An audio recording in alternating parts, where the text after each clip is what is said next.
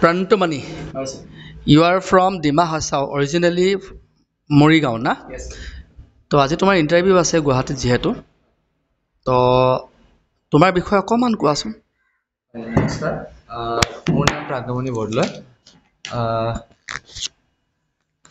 First of all মই অসমীয়াতে কওঁ।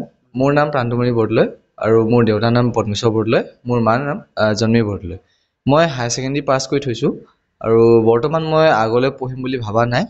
চ' সেইটো কাৰণে মই জব এটা বিচাৰি আহিছোঁ।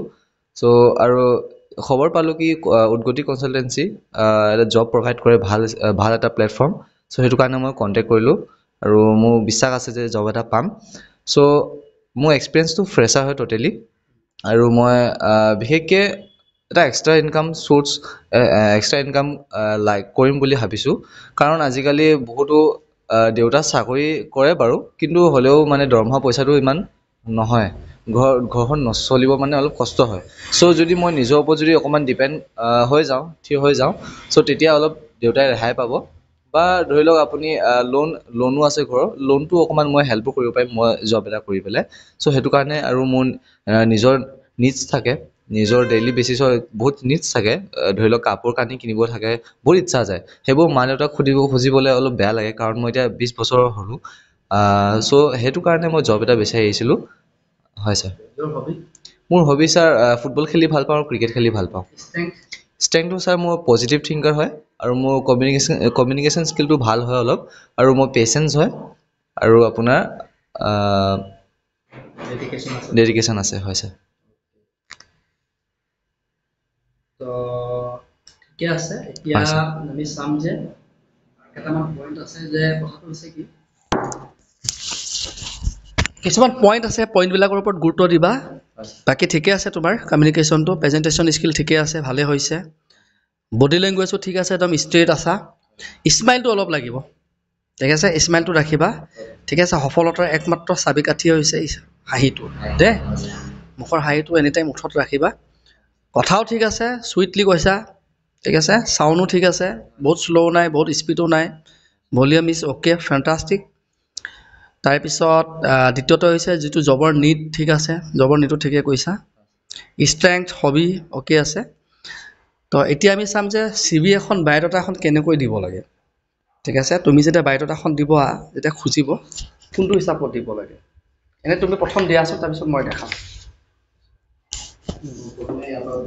হয় হয়।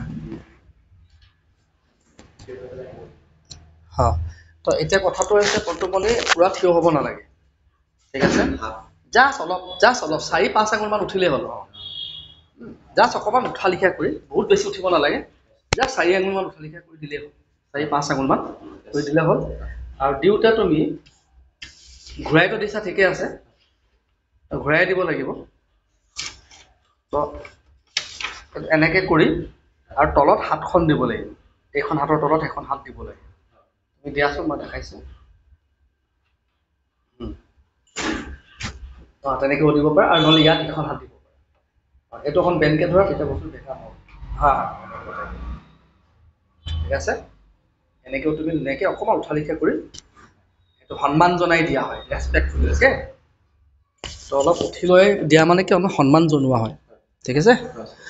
আৰু ইণ্টাৰভিউৰ পেনেলত কেতিয়াবা কি হয় মেলো থাকিব পাৰে ফিমেলো থাকিব পাৰে। তো তেতিয়া মেল ফিমেল যদি দুটা হেৰি থাকে জেণ্ডাৰ থাকে তেতিয়া দুইজনকে গুড মৰ্ণিং গুড মৰ্ণিং দুইফালে জনাব লাগিব বা গুড আফটাৰনুন গুড আফটাৰনুন দুইফালে জনাব লাগে। অ'কে আৰু বাকী ডিয়াৰ কেণ্ডিডেট জব চিকাৰ্ছ তোমালোকেও অলপ জানি লোৱা কিছুমান পইণ্ট হয়তো গম নোপোৱা যদি ইণ্টাৰভিউ দিবলৈ যোৱা তোমালোকৰ সুবিধা হ'ব এই ভিডিঅ'টো সহায় কৰিব। যদি বোলে দুজন মেল আছে আৰু এগৰাকী ফিমেল আছে তেতিয়াও অলৰেডি দুটা জেণ্ডাৰ আছে তাত। তো দুজন মেলক আমি গুড মৰ্ণিং বা গুড আফটাৰনুন এবাৰ ক'লে হ'ল আৰু এইফালে মহিলাগৰাকীকো গ্ৰীট কৰিম আমি। ঠিক আছে? এতিয়া যদি বোলে গোটেইখিনি মহিলাই আছে তো এবাৰ গ্ৰীট কৰি লওঁ গুড মৰ্ণিং মেমছ হ'ব অ'কে বোলে তিনিগৰাকী বহি আছে তিনিগৰাকীয়ে গুড মৰ্ণিং গুড মৰ্ণিং কৰাৰ প্ৰয়োজন নাই। মেলৰ ক্ষেত্ৰতো একেই। যদি বোলে তিনি চাৰিজন বা দুজন বোলে আছে ছাৰ বা ইণ্টাৰভিউৰ যোনবা আছে তো দুইজনকে বেলেগে বেলেগে গুড মৰ্ণিং বা গুড আফটাৰনুন গুড আফটাৰনুন কৰাৰ প্ৰয়োজন নাই। এবাৰ দি দিলে হৈ গ'ল। খালি চাব লাগিব যে যদি দুটা জেণ্ডাৰ আছে এফালে লাগিলে দহজন মেল আছে এগৰাকী মহিলা বহি আছে তথাপিও মই দুবাৰ দিব লাগিব। ক্লিয়াৰ হৈছে? হা। বায়'ডাটা কেনেকৈ দিব লাগে গম পালা? ঠিক আছে।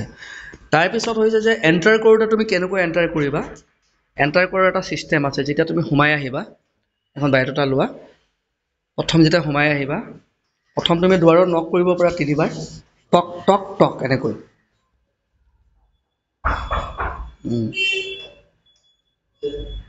মে কম ইন বুলি সোধা? কম ইন